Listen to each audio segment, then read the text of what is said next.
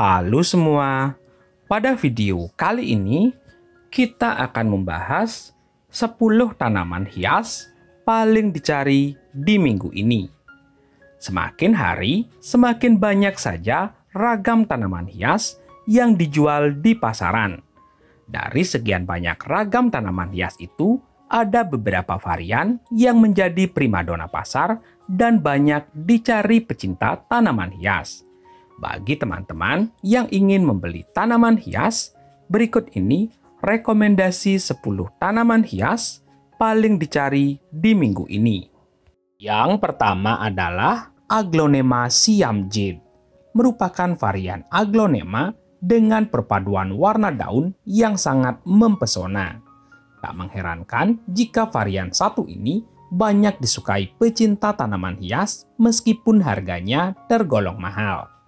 Aglonema siamjid memiliki daun berukuran sedang dengan bentuk oval. Daunnya sendiri memiliki warna dasar hijau yang dihiasi motif berwarna putih atau krem dan sedikit sentuhan abu-abu di bagian permukaan daunnya. Di pasaran, varian aglonema ini dihargai di kisaran harga 300.000 sampai 2 juta rupiah. Yang kedua adalah Hoya carnosa maunaloa. Tanaman Hoya carnosa mauna loa merupakan salah satu varian tanaman Hoya dengan perpaduan warna daun yang sangat mempesona. Varian Hoya satu ini memiliki daun lumayan tebal dengan bentuk meliuk-liuk dan bergelombang.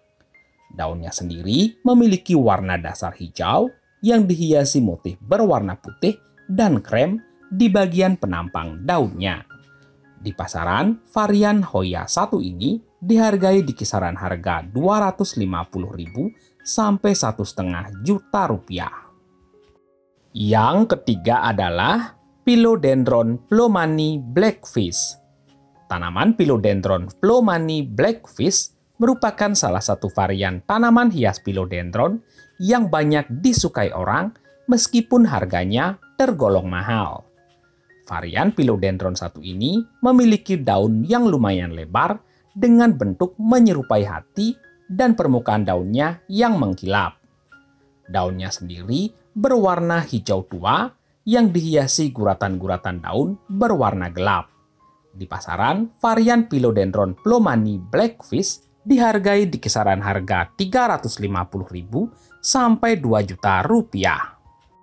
Yang keempat adalah Begonia escargot.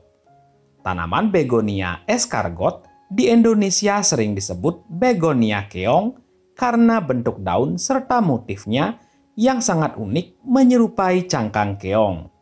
Begonia satu ini memiliki daun yang tidak terlalu besar dengan bagian pangkal daunnya melingkar ke dalam sementara bagian ujungnya meruncing. Daunnya sendiri memiliki perpaduan warna hijau gelap dan warna abu-abu yang sangat cantik. Di pasaran, varian begonia escargot dihargai di kisaran harga 35.000 sampai 180.000 rupiah. Yang kelima adalah Alocasia maharani. Tanaman Alocasia maharani merupakan varian Alocasia yang tengah naik daun dan banyak dicari orang. Varian alokasia ini memiliki daun tidak terlalu besar dengan bagian permukaannya dihiasi guratan-guratan daun yang tegas.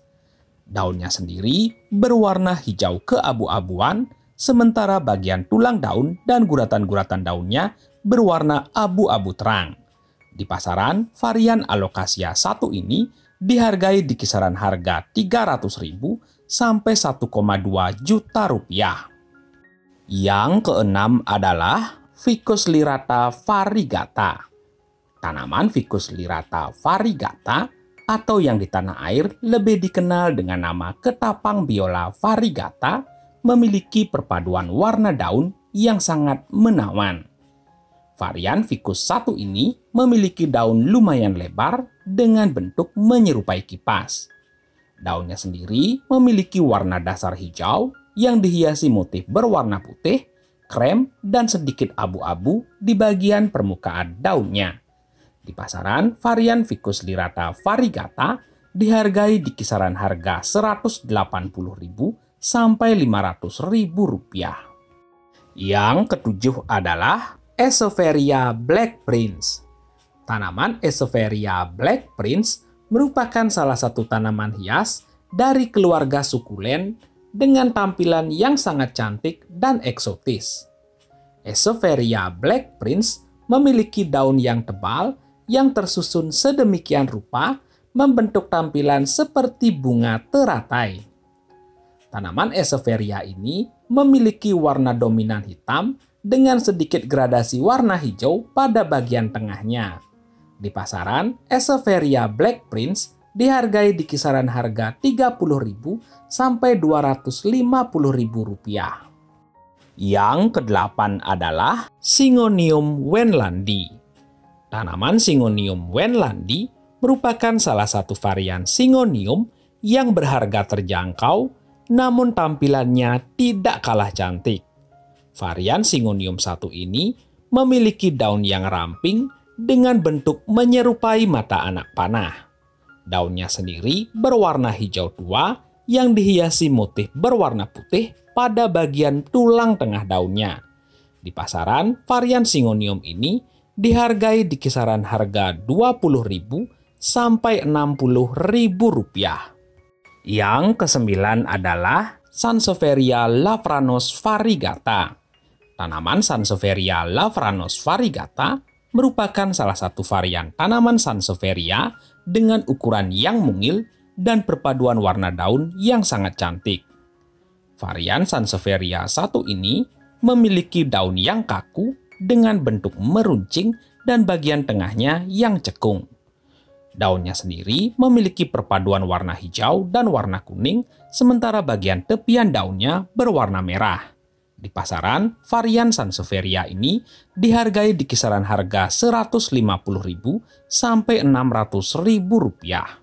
Yang ke-10 adalah Fitonia mini white. Tanaman Fitonia mini white merupakan varian Fitonia yang banyak dicari orang di minggu ini.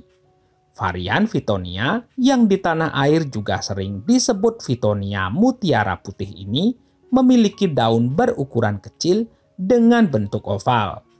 Daunnya sendiri memiliki warna dasar hijau yang dihiasi tulang daun dan guratan-guratan daun berwarna putih. Di pasaran, varian Fitonia Mini White dihargai di kisaran harga 15.000 sampai 50.000 rupiah. Itulah 10 tanaman hias paling dicari di minggu ini. Sekian video kita kali ini. Semoga bermanfaat buat teman-teman semua.